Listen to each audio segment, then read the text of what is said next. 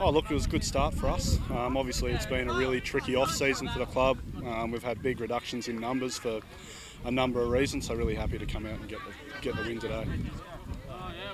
Who stood out for you guys? Oh, look, I thought our forward pack was pretty dominant today. Um, you know, we were good in the set piece. Our back row uh, managed to give us a fair bit of turnover ball, which we were able to capitalise upon. So probably no standouts. I thought it was a pretty good team effort. So want to be at this point of the season?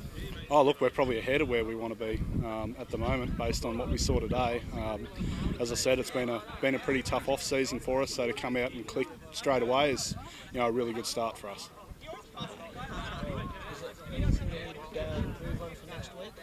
Oh, look, there's always you know things to improve on. We probably were a bit high in our uh, our contacts in defence in the first half, um, so that's something we'll look to improve on.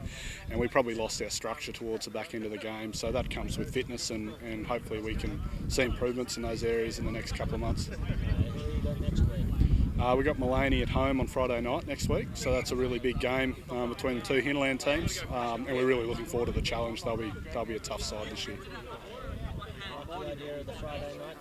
Yeah, look, we're really keen on the Friday night game. Um, the boys are excited for it. Uh, it allows allows them to uh, enjoy their footy and then enjoy the rest of their weekend. So we think Friday night is a really good thing for the game.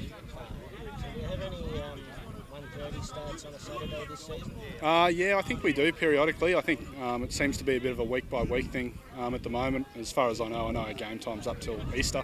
So after that, we'll see what happens. Yeah. The, the idea of reserve rates having a how do you feel about that? Oh, I like it. I, I think it's the nature of you know the coast a little bit that a lot of guys work on Saturday mornings, and the later starts just allows people to you know sort their weekends out a bit better and, and get down and watch some good footy. No, it's good. Thanks, mate.